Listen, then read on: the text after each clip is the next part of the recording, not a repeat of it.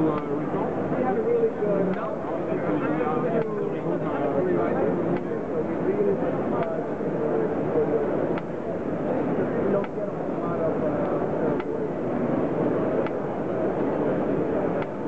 we took uh, three uh, different exposure images and this is usually the HDR technology that usually, you usually get.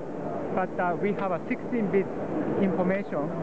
So when you pinch and zoom and you wanna, Ah, okay. it's automatically uh, tone mapping for you to see uh, more detail.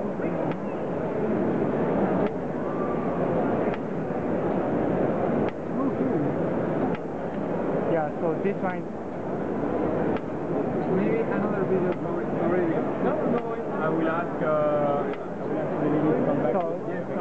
Now he's